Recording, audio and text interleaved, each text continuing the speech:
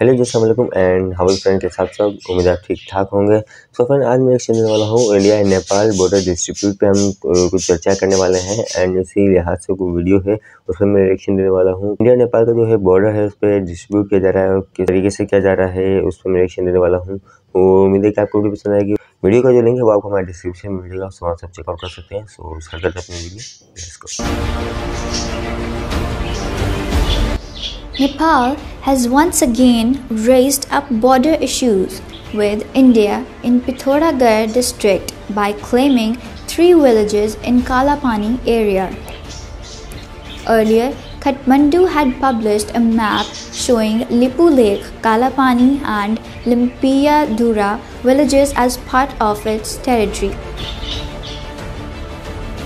All the land in Lipulekh, Kalapani and Nabidhang on the border traditionally belongs to the residents of Garbiyang and Gunji villages of Dharchula subdivision in Pithoragarh district. Dharchula subdivision magistrate A.K. Shukla said, citing records. The tribals of Garbiyang village said the water at the source of Kali river in Kalapani is considered sacred by them.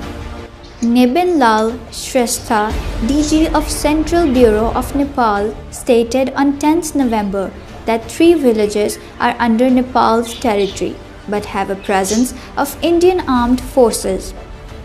Nepalese Prime Minister KP Sharma Oli also stated that India has deployed its troops in Kalapani since 1962 and our rulers in the past hesitated to raise the issue.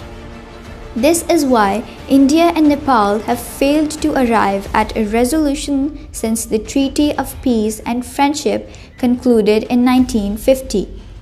The Nepal government is committed to protect the country's external borders and it is determined on its principled position that such border disputes with the neighboring countries should be resolved through diplomatic channels, but unfortunately, India has failed to do so.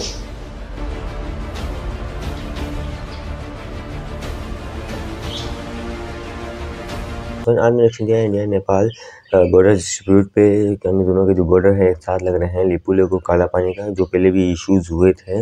इसी issue को देखते हुए ये video बनाई गई है। Video काफ़ी अच्छी लगी मुझे इंस्पिरेशन उम्मीद है कि आपको वीडियो पसंद है अगर आपको वीडियो पसंद लाइक करें शेयर करें कमेंट करें प्रेस करें और चैनल को ज़्यादा सब्सक्राइब करें, ताकि आपको मैं मिलते हैं